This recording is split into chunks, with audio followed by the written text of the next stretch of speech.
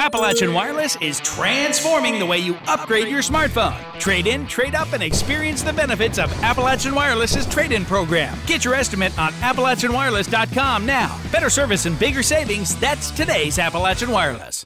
A Pike County couple is alive today thanks to a Kentucky State Trooper who risked his life to run into a burning home to save them.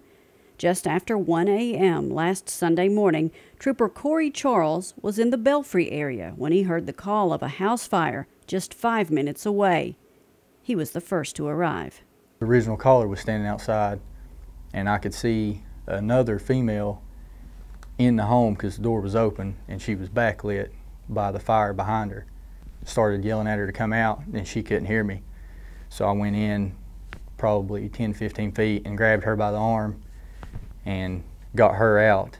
But that's when things went from bad to worse. Um, and I asked her if anybody else was in the house, and she said, Yeah, my husband's asleep in the back farthest bedroom. The fire department hadn't arrived yet, and Trooper Charles made the decision to go back in. I crawled to stay under the smoke because, like I said, it was two thirds down.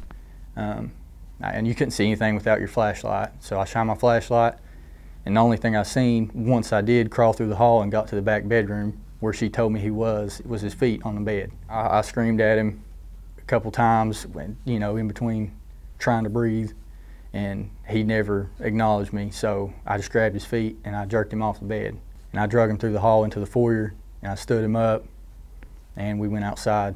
As soon as they were all safe, the fire department arrived. They were able to save the exterior of the home, but Trooper Charles was the true hero that night.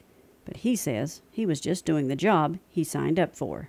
If I can, you know, I'd like to help anybody, just like any other trooper at Post 9 would. You know, I didn't do anything that any other trooper here wouldn't have done. Well, I was just put in the right spot at the right time. I was glad I was there. In Pikeville, I'm Shannon Deskins, EKB News.